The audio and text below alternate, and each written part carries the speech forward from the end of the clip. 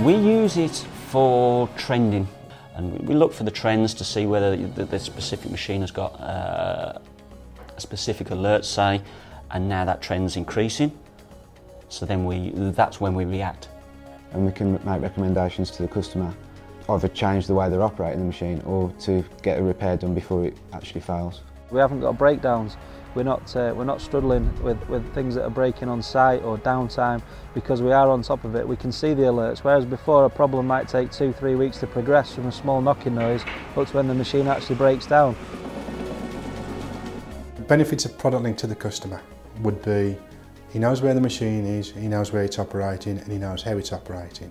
Might have machines out on hire that are there for a five day week and uh, obviously the, the customer's been a little bit cheeky and using it on a Saturday and a Sunday.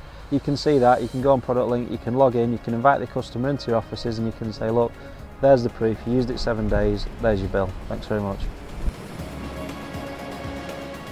We were always trying to estimate fuel burn on machines working hard and the real time effect of the fuel consumption is a lot less than what we anticipated. Even when the machines are working hard, we, we use it a lot as well for monitoring fuel usage.